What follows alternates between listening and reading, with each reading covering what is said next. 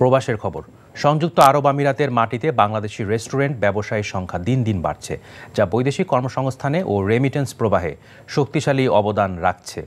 NTV আমিরাত প্রতিনিধি মামুনুর রশিদ জানান, প্রবাসে দেশীয় খাবারের জনপ্রিয়তা ছড়িয়ে দিতে দুবাইয়ের আল কুজের নিউ গ্র্যান্ড সিটি মলে আলমান ও আল সালোয়া নামে বাংলাদেশি নতুন রেস্টুরেন্টের উদ্বোধনী অনুষ্ঠানে এ কথা বলেন বক- বক্তারা। রেস্টুরেন্ট উদ্বোধন করেন স্থানীয় স্পন্সর মোহাম্মদ রহমত প্রধান অতিথি ছিলেন দুবাইয়ে Bangladesh কনসুলেটের consul general B M Jamal Hossain, স্বত্বাধিকারী জাহাঙ্গীর আলম, নূর মোহাম্মদ, রেজওয়াল করিম সহ অন্যরা।